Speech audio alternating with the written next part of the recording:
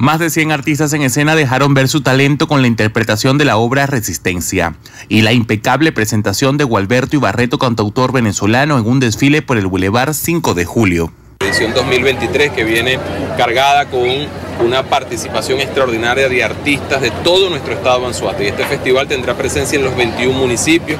Hay una participación también muy especial de artistas, agrupaciones teatrales y culturales de 10 estados de nuestro país. Tendremos una participación internacional también de movimientos de Cuba, de Colombia que van a participar en esta actividad. El mandatario regional informó que se mostrarán diferentes expresiones artísticas y culturales en los 21 municipios de la entidad. Nosotros es motivo de satisfacción además poder haber inaugurado esta edición 2023 junto a grandes artistas, entre ellos nuestro patrimonio nacional, Gualberto Ibarreto, que ha hecho una presentación hermosísima, maravillosa, además en este centro histórico, centro heroico de la ciudad de Barcelona, donde tanta gente estamos absolutamente convencidos guardará a partir del día de hoy esta presentación memorable eh, como parte de los eventos más importantes que haya tenido nuestra ciudad de Barcelona, nuestra capital del estado. Señaló que esta segunda edición contará con la participación de artistas de 10 estados de Venezuela, de Cuba y de Colombia.